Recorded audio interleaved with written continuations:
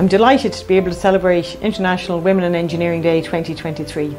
It's amazing to have a day to celebrate all the fantastic women who've chosen this amazing career.